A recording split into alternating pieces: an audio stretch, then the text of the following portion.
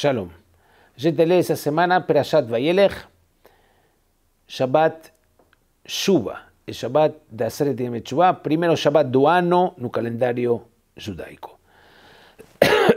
E como são dias de Teshuvah, a gente não pode deixar de falar sobre a questão de aquele que nos envolve com pecados. Vejam bem, a Torá, nesta Perashá, no capítulo 31, versículo 21, diz Moshe Rabbeinu a seguinte frase: Ki yadati et yitzro asherhu ose ayom, pois eu conheço o seu instinto negativo que ele faz hoje, antes inclusive, continua o versículo dizendo, de chegarem na terra prometida. Assim diz Hashem para Moshe transmitir que yadati et yitzro. Vejam, tem um pasuk em Kohelet, Shlomo Amelech diz o seguinte, no capítulo 9, versículo 14 e 15. Ir Ketaná, eu vou traduzir literalmente, depois vamos ver a interpretação de nossos sábios no Talmud sobre estes versículos. Ir Ketaná ve'anashim bameat. Diz Shlomo Amelech, tem uma cidade pequena e poucos habitantes. Uba elea Melech Gadol.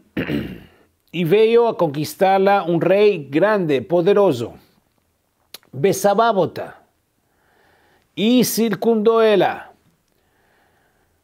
Ubaná alea Metzudim Gedolim, y construyó en volta y sitió totalmente esa ciudad con torres grandes, en volta, fechó ella, enroscó ella por todo lado. Umatzá, continúa el versículo en Coelet, Umatzá ba Ishmisken, e dentro dessa cidade tinha um homem, misken, coitado, mas era hacham, era sábio. O milat hu etair ba'ochmato. E este sábio, mesmo fraco, mesmo parecendo um coitado, ele salvou a cidade com sua sabedoria. Até aqui os versículos que diz Shlomo Amelech em Kohelet Perektet.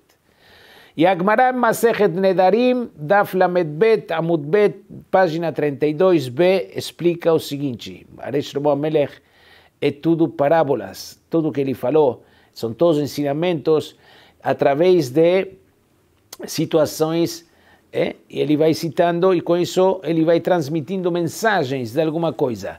E explicam Hachamim na Gemara Masechet Nedarim, estes dois versículos, diz o seguinte, Ir Ketaná, quem é Ir Ketaná? Uma cidade pequena, quem é? O corpo, o ser humano, o corpo. Vanashim Bameat, tem poucos habitantes. Quem são? Os Evarim, os membros da pessoa. Melech Gadol, veio um rei grande Besababota. Quem é rei que circundou e sitiou esta cidade? No caso, o corpo, o o instinto negativo.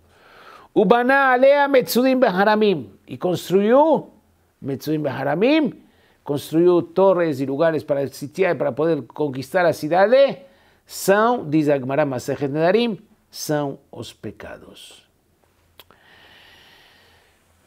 Eu vou abrir um parênteses antes da continuação, o que continua a Gemara explicando a última parte desses pesukim. Não temos dúvida hoje, ninguém tem dúvida, que a tecnologia nos invadiu. Seja nos telefones inteligentes, seja nos computadores, seja a televisão, junto com a internet, tiraram o nosso sossego.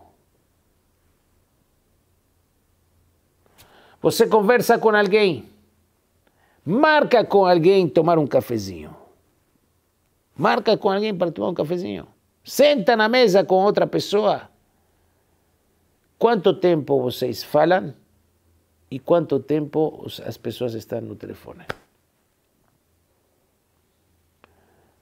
E não estamos falando apenas de duas pessoas alheias como amigos, marido e mulher, pais e filhos. Nos dominaram. Isso nos está dominando. A pessoa está absorvida e envolvida. Imagina então você quer marcar um shiur de Torá. Hoje, 5, 6 horas da tarde, a pessoa terminou de trabalhar. Até às 11 que vai dormir, mínimo. Pode ser mais tarde ainda. O que ele faz? Diz, não tem tempo. Uma vez estava aqui o Rav Ades, Rabi Ades de Yerushalayim, grande Rosh Yeshiva lá em Yerushalayim, e ele contou o seguinte, na época não tinha nem smartphone, nem internet, nem nada, tinha jornais. Então tinha uma pessoa muito rica, muito rica, e ele só vivia de... não, não, não trabalhava, não trabalhava, o dia inteiro. Mas Raham disse para ele, não tenho tempo de estudar. E o Raham perguntou, o que se faz? Diz, eu acordo sete, rezo, Bom, depois toma café. E depois o que você faz você? E diz, eu pegou, tinha três, chegava para ele e estava assinado três, quatro jornais e ele lia o jornal desde onde consta a data no jornal, para quem é, conhece o jornal, desde a data até a última linha da última página. Não tinha tempo. Hakam não tinha tempo de estudar. Hoje acontece a mesma coisa conosco, mas no lugar de ler os jornais, a gente lê, está absorvido com todas as informações e filmes e notícias e, jogos e, e a pessoa não tem tempo de nada. Irketaná, uma cidade pequena e o Yetzerara envolveu, sentiu ela, nos enroscou com uma corda. Mas a pessoa tem que ser inteligente e não trazer o problema para casa. Uma coisa quando a pessoa é atacada pelo Yetzirará de forma externa, vem alguma coisa inesperada. E outra coisa é o sujeito ir comprar, ir fazer, ir, e ele está carregando o dia inteiro o celular. Não deixa o celular cinco minutos Pode esquecer a carteira, mas o celular não vai esquecer. Pode esquecer a carteira de motorista, mas ele, a carta de habilitação, mas ele, a habilitação, mas ele, para dirigir, mas ele não vai esquecer a, o celular. Temos que a pessoa, dentro do possível, se desvincular disto e usar estas ferramentas apenas para, aquelas, que elas, para aquilo que é necessário e a pessoa precisa e serve. Acabou. O resto deixa de lado. A pessoa não pode trazer o Yetzirará para si. Não pode trazer. Nós rezamos em Kippur, daqui a alguns dias. A gente reza em Kippur. Al-Hayet Shehatanu Lefanecha Beyetzerara. Dentro da confissão, nós temos Al-Hayet, do pecado que a gente pecou para você, Hashem, com o Yetzerara. E claro, todos os pecados são com Yetzerara. O que significa esta frase? Explica-nos Mefarshim o seguinte, que a gente trouxe o Yetzerara para nós. Não que nos pegou Yetzirah por fora. Isso não é Hacharatan el Faneja Yetzirah. Yetzirah quer dizer que nós provocamos isto. A gente traz e compra um telefone mais moderno e mais rápido e mais conteúdo e mais. E a gente traz e isso tudo nos tira do lado kadosh da vida. A pessoa não consegue ter uma kedushá dentro de sua vida. E esse é um ponto de reflexão, é eh, isso que diz a Torá. Que adati et tzitzro asheru yom. A pessoa não deve ir tra trazer para si o Yetzirará, atrair o Yetzirará. Ao contrário. Qual é a continuação do Pirus da Gemara?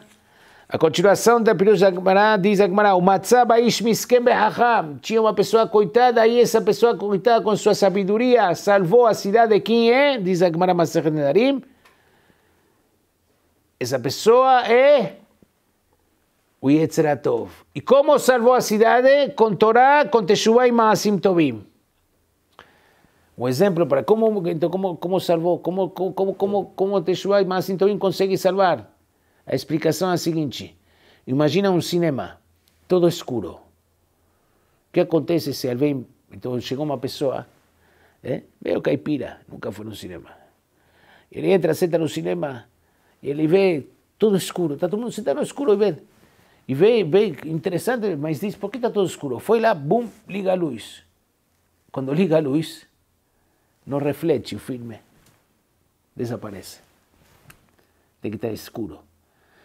Que é a luz? A luz é Tshuva e Maasim Tovim. Quando a pessoa se envolve com Torá e Maasim Tovim, automaticamente o Yetzirará perde força, porque todo é uma ilusão de ótica, o Yetzirah.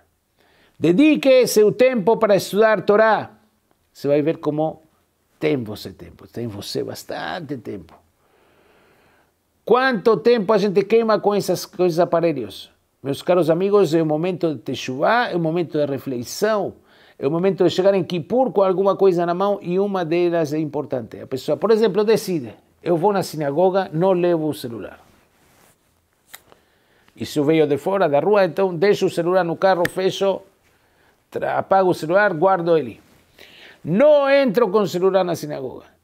Estou comendo, estou jantando, comia, desligo o celular.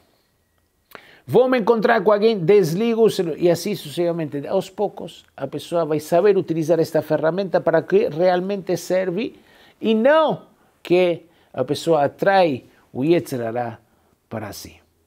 Shabbat Shalom.